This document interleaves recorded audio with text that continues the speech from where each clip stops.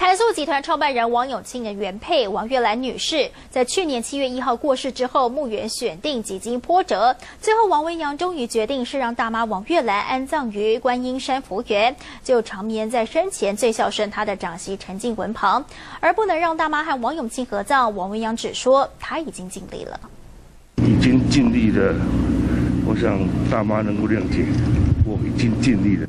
口中只说尽力，王文洋对于大妈王月兰长眠之地为何不和王永庆葬在一起，反而选在原配陈静文的墓园旁，没有多说明。大家看看这里的风水有多好啊！真的，对对，这里真的很漂亮啊，真的很漂亮啊！大妈，大妈是基督教，她的她已经跟耶稣在一起。一早九点不到，王文渊的坐车先抵达，随后王文阳就带着吕安妮、王思全和王思涵入内，准备参加葬礼。仪式采用基督教礼仪，准时十点入葬。二房王雪红、王雪玲坐车陆续抵达，而三房则是选择一辆保姆车一起入内。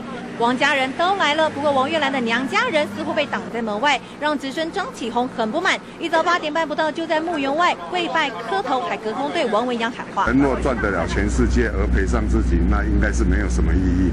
为什么？”王先生让他的妈妈跟董事长站在一起，而把你移到这里来。如果要把你移到这里来，那我们应该让你移到我们自己的娘家嘉义老家，让你落土归根。